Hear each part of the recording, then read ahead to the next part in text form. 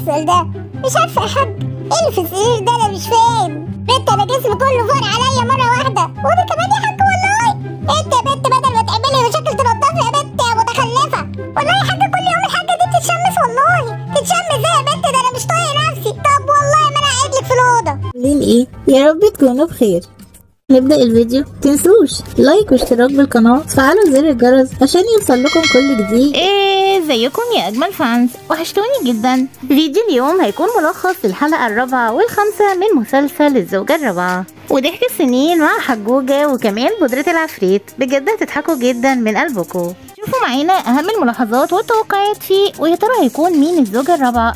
اي أحلى ولا مين؟ هتتفاجئوا. تابعونا على القناة دي وهنلخص معاكم كل أفلام العيلة وهنقول لكم كمان أهم الملاحظات وكمان القفشات المضحكة مع أحلى عيلة في الدنيا هي عيلة الجمل. قبل ما نبدأ ما تنسوش اللايك وشوفوا للنهاية. لو بتحبوا عيلة الجمل يلا بينا نبدأ. وحكاية بودرة العفريت وبيبي حياة روتاري البيت والحلقة الرابعة ضحك السنين. في البداية كنا عارفين إن هيحصل مشاكل ما بين الضراير عشان حجوجة كمان يضربهم. وده اللي حصل فعلا. بدأت فيها جلجل عشان طبعا تاخد حقها من اللي عملوه فيها وخلوا الحاج يضربها وتسيب البيت بسببهم. لو تاخدوا بالكم يا جماعة كل يوم جلجل تقول إن الحاج مش فات أحلامها ولا كمان العيشة دي عيشتها. لكن هي رضيت بالجوازة دي هي وأمها بسبب إن ظروفهم كانت صعبة جدا. وفي بداية اليوم التاني جلجل ما كانتش طايقة خالص مراتات الحاج. وفكرت في خطة تنفذها فيهم وتخلي كمان الحاج يقلب عليهم. قررت عرفت إن الجدول النهاردة يوم سلمى وقالت إن تعمل فيها المقلب وهو مقلب بودرة العفريت. ودخلت فعلا ورشت لهم البودرة على السرير وفي الدولاب وبعد كده شافتها حياة وهي خارجة. ملحوظة بس في الأول على فكرة يا جماعة البودرة دي بودرة تلج للأطفال. كده كلكم عرفتوا إن بيبي حياة هي رويتر البيت ومين عنده طفل زي بيبي حياة كده في بيته؟ بيقول كل صغيرة وكبيرة للكبار. قولولنا دلوقتي في الكومنتات. وعلى فكرة يا جماعة حياة هيكون ليها دور كبير جدا في الفيلم وهي اللي هتنقل كل أخبار مراتات الحاج دايما. والحاجة اللي بجد صدمتنا هو حجوجة لما خلى مراتاته الاتنين يبوسوا دماغ جلجل لا حقيقي والله حجوجة أنت فعلا طلعت كده مش ظالم خالص. أمال الضرب اللي بتضربوا ليهم؟ كل شوية ده هيكون إيه؟ قولولنا دلوقتي أنتوا كمان ردكوا إيه على اللي عمله الحاج. تعالوا بقى للضحك كله على مشهد بودرة العفريت. وحرفيا يا جماعة كلنا متنا من الضحك لما حجوجة قعد يهرش هو وسلمى. ويقول لها بدل ما أنتوا فاضيين للمشاكل نضفي أوضتك. ووالله ما أنا بايت فيها. كده يا جماعة الحاج قلب كمان على سلمى وجرجر كمان كسبت خطتها. مين ضحك زينا على المشهد ده؟ يقول لنا دلوقتي في الكومنتات.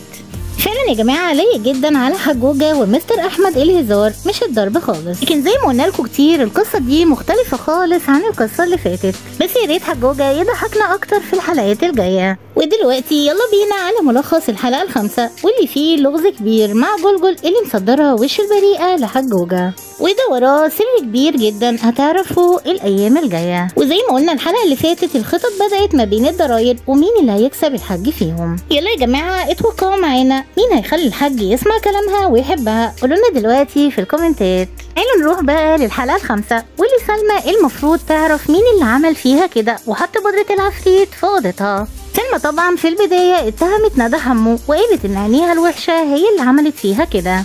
لكن ما تعرفش البريئة جلجل هي اللي عملت فيها كل ده هي وحجوجة. طبعا حجوجة خرج يهرش في جسمه كله ومراتاته جلجل وندى عاوزين ياخدوه عندهم في الأوضة بأي طريقة وكمان بيتخانقوا عليه. ولأن جدول اليوم التاني لجلجل قال خلاص أنا هروح عندها. ندى حمو طق الشرار في عينيها وقالت هتاخد يومين يا حاج. طيب يا جماعة منين؟ مش بيحبوه ومنين دلوقتي بيتخانقوا عليه كده؟ المهم إن حجوجة لها حقها عشان اتظلمت. مين يقول يا جماعة إن الحاج طلع مش ظالم خالص؟ وهنا جلجل جات لها الفرصة تكيد وتغيظ في ندى حمو وتقول لها مش قلتلك هو وعدني وعود حلوة قوي واعزل لهم عشان ضحكوا عليا. حرفيا يا جماعة كان رد فعل ندى حمو جامد جدا ضحكنا قوي عليها وقالت لها ابعدي عني وكانت هتاكلها. تعالوا بقى لسلمى اللي طلعت على نيتها خالص ومش شاكة في ندى جلجل وقالت إن ندى حمو هي اللي حسدتها وبصت لها في اليوم بتاعها عشان كده هتنتقم منها. وضربتها جامد جدا لحد ما الحاج خرج من الأوضة وكمان عاقبها بأسبوع بحاله مش هيدخل أوضتها. عارفين طبعا يا جماعة مين اللي فرحان جدا بخناقة سلمى وندى حمو؟ هي ندى جلجل. لأنهم في بداية المسلسل كانوا بيتفقوا عليها وكمان بيضربوها ضرب جامد جدا مش هما بس ده كمان حجوجة وزي ما قلنا لكم ركزوا جدا مع جلجل لأن وراها سر كبير مع حجوجة وكمان العيلة. ما فعلا نفذت خطتها ودخلت ندى حمو اوضتها وشربتها مية وكان فيها المنوم. وبعد كده قفلت عليها بالمفتاح. وكده بقى يبقى يومها باظ مع حجوجة. كانت غلطة كبيرة لأنها دخلتها أوضتها وحبستها. وفي آخر الحلقة حجوجة وصل البيت وكان بيسأل على ندى حمو. وسلمى كانت مصرة إنها خرجت وراحت لمامتها لكن جلجل كشفت الموضوع وقالت له إنها ما خرجتش. وطبعا اتدلعت جدا على حجوجة وزي ما قلنا لكم هي بتحاول تخليه يحبها بأي طريقة. تضحك عليه بكلمتين عشان يدافع عنها قدام مراتاته. سلمى كده يا جماعة شكلها هتتضرب علقة تاني. تفتكروا إيه الخطة الذكية اللي كانت هتعملها سلمى في ندى حمو غير إنها تحطها في أوضتها وتقفل عليها بالمفتاح؟ انكم ما تنسوش إن حياة اعترفت لسلمى على كل حاجة وقالت لها إن جلجل هي اللي حطت بودرة العفريت.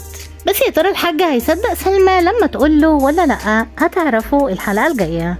ملحوظة أخيرة معانا من كل ال fans. ال fans كتير اتوقعوا إن الزوجة الرابعة لو ما طلعتش أي أحلى هتبقى أم سندس.